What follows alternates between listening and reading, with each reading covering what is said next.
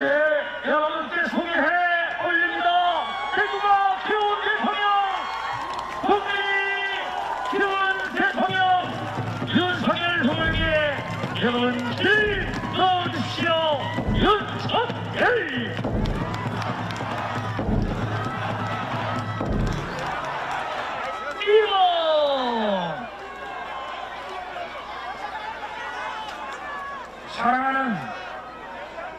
시민 여러분, 이 동성로 한복판에서 여러분 뵈니 가슴이 벅차오르고 힘이 절로 납니다, 여러분.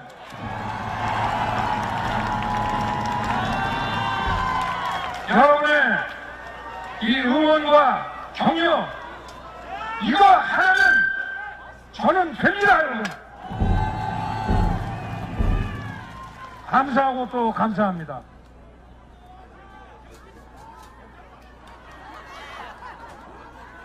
저를 이 자리에 불러내고 여기 여러분 앞에 서 있게 키워주신 분들이 바로 우리 대구 시민들 아니십니까, 여러분?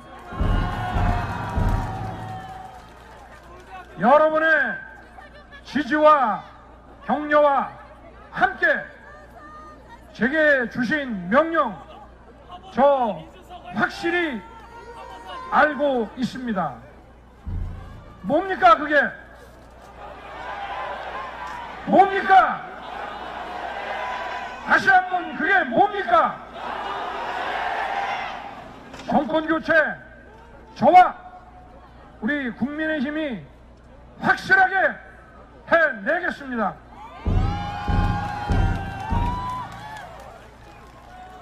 삼월 9일 여러분과 함께 국민 승리의 대축제로 만들겠습니다, 여러분.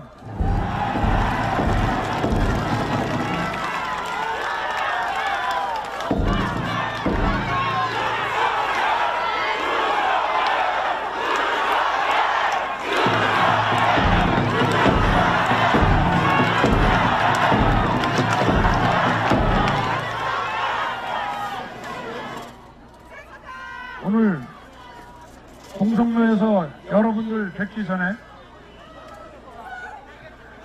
2003년 19년 전 지하철 참사 희생자의 추모 현장을 다녀왔습니다. 또 제가 대구에서 처음 사회생활을 시작하면서 초임검사로 근무하던 95년도에 영남 중고등학교 앞에서 상인동 도시가스 폭발 사고가 있었던 것도 다시 기억에 떠올랐습니다. 여러분의 지지와 성원으로 저와 우리 국민의힘이 차기 정부를 맡게 되면 사고로부터 안전한 나라, 범죄로부터 안전한 나라, 외침으로부터 국민의 생명을 안전하게 보호하는 그런 나라를 반드시 만들 것을 여러분께 약속드립니다.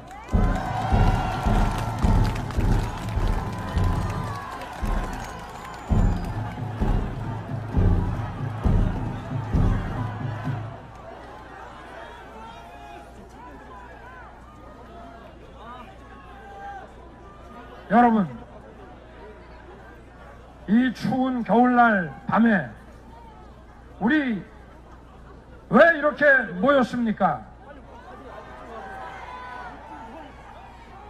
부패하고 무능하고 국민께 오만한 무도한 정권을 더 이상 볼 수 없어 이것을 교체하려고 이렇게 모인 거 아니겠습니까?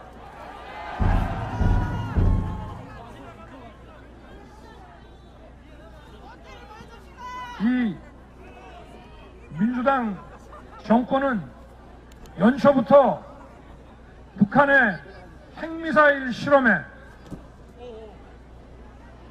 위장 평화 쇼에 종전 선언을 하려고 난립니다 지금.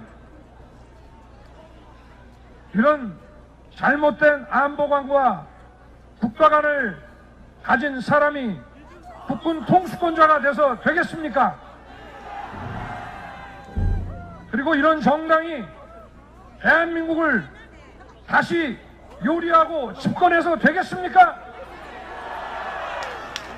이런 잘못된 안보관과 국가관을 가진 사람들이 외교를 잘 하겠습니까? 글로벌 시대 세계 10대 경제 강국으로서 균형 잡힌 외교도 못하고 오로지 북한 바라보기와 굴종 외교로 이 미사일 실험 발사를 초래케 한 이런 정권 계속 우리 국민이 집권 허용해도 되겠습니까? 우리나라는 수출과 수입, 대외 의존도가 높은 나라로 외국과의 거래를 통해서 먹고 사는 나라입니다. 이런 안보관과 이런 외교 정책으로 경제를 살릴 수 있겠습니까, 여러분? 경제를 살리고 일자리를 만들어낸다면 그거 자체가 기적 같은 얘기 아니겠습니까? 한마디로 건전한 상식을 잃어버린 그런 정권 아니겠습니까? 여러분께서도 국민의힘이 어려울 때 또 잘못한 게 있으면 냉정하게 질타를 해 주셨지 않습니까, 여러분? 이제 이 민주당을 여러분께서 권기해서 단호하게 심판해 주십시오. 자, 여러분, 이 서명을 외쳐보겠습니다. 윤석열!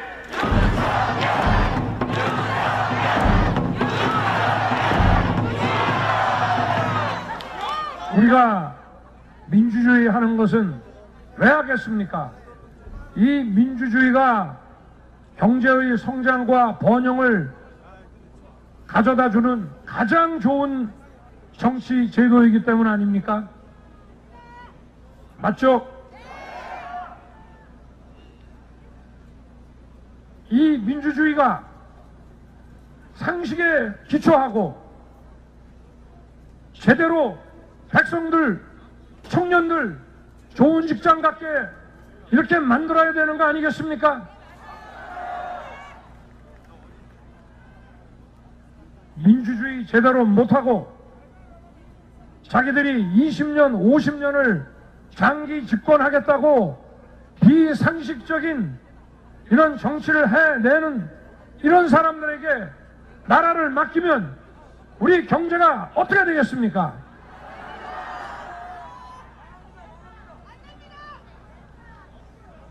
안보관이 잘못되고 국가관이 잘못되고 외교정책 잘못하는 사람들은 상식이 없는 것이고 이 몰상식으로 우리 경제와 번영을 절대 만들어낼 수 없습니다, 여러분.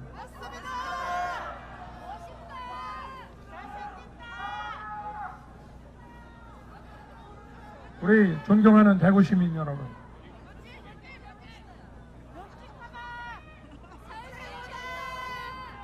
여러분, 이렇게 해가 저물어가는 이 밤에 상가의 불빛을 보면서 이 대구 시민들이 이렇게 뵈니까 가슴이 벅차올라 말을 잊지 못하겠습니다, 여러분. 윤석열!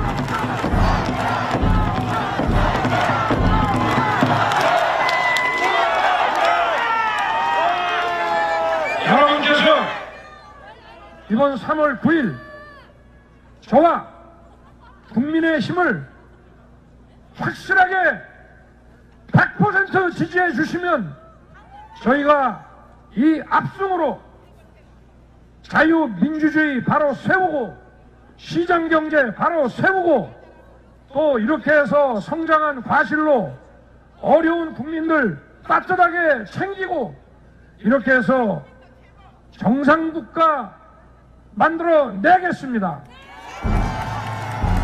윤석열 열심히 일하면 상응하는 보상을 받는 그런 정상적인 일상으로 우리 대구 시민들과 대한민국 국민들이 그 정상적인 일상으로 돌아가실 수 있도록 회복시키겠습니다.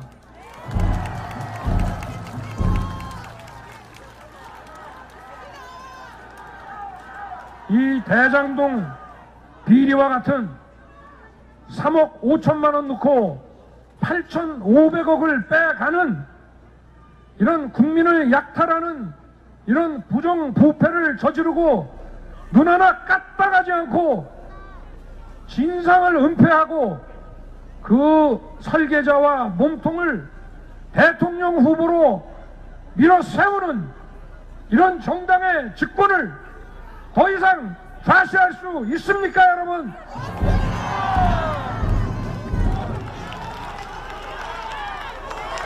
대구 경북에서 여러분들을 만나면 박근혜 대통령 존경한다 하다가 또 다른 곳에 가면 존경한다 했더니 진짜인 줄 알더라 이런 얘기는 하고 또 박정희 대통령이 우리나라 산업화를 이룬 분이라고 존경한다고 하다가 오늘 또 다른 지역에 가서는 박정희 군사 정권의 폐약 중에 폐약이 지역을 갈라치기 한 거라고 욕을 퍼 부은 사람 이런 사람 대통령 시켜 되겠습니까 여러분?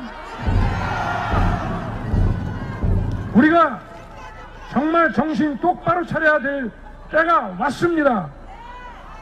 한 번은 속아도 두 번, 세 번 속아서는 안 됩니다, 여러분.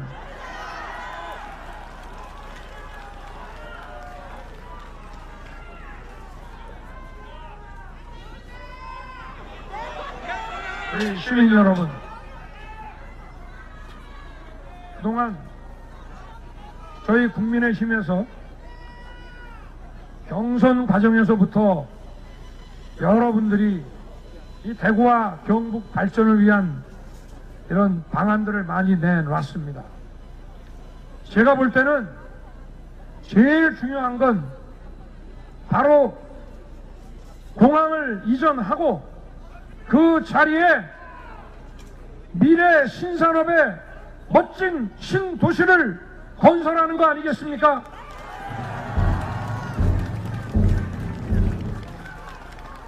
그리고 우리나라 발전에 병폐 중에 병폐인 지역 감정을 없애기 위해 대구와 광주 간에 달빛 고속철도를 놓고 영원함이 교류하고 젊은 사람들이 다니고 이렇게 해야 되지 않겠습니까 여러분?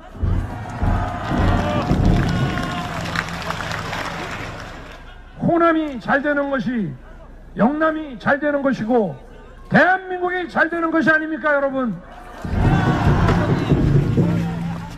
여러분의 압도적인 지지로 저와 국민의힘이 집권 여당이 되더라도 건전하고 상식 있는 야당과 함께 협치를 해야 국가 발전이 있지 않겠습니까 여러분? 우리 민주당의 양식 있고 훌륭한 정치인들이 지금 이재명의 민주당 세력 때문에 길을 펴지 못하고 있습니다.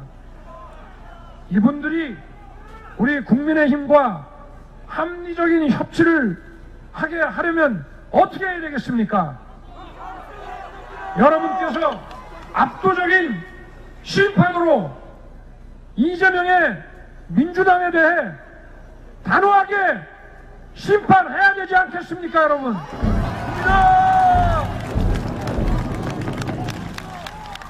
그게 대한민국 살리고 국민의힘 살리고 민주당 살리고 국민 통합 이루는 바로 그 길입니다 여러분.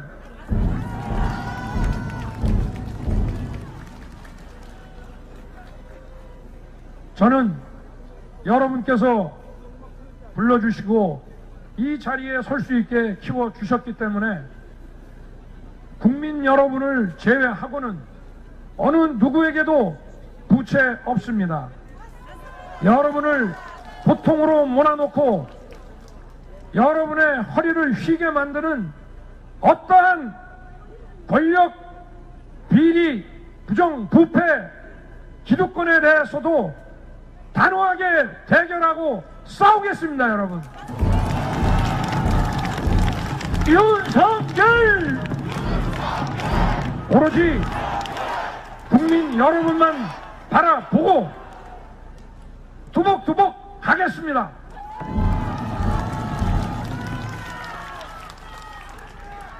이번 3월 9일은 5년에 한 번씩 있는 그런 선거가 아닙니다.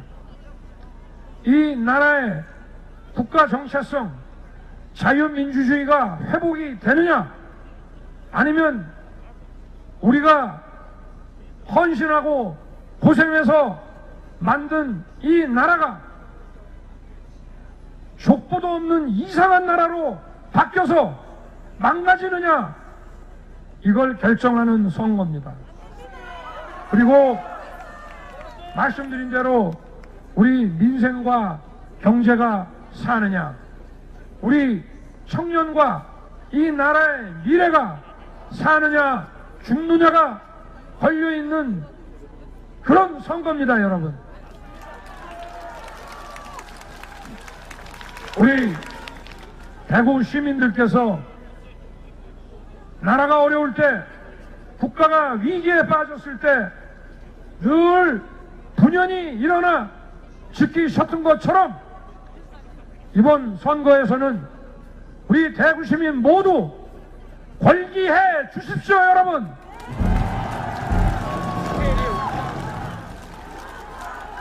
저와 우리 국민의 힘이 여러분의 격려와 열정적인 응원에 확실히 보답하고 약속 지키겠습니다, 여러분. 감사합니다. 여러분의 이 뜨거운 격려 잊지 않겠습니다. 잊을 수가 없습니다. 고맙습니다, 여러분. 감사합니다, 여러분.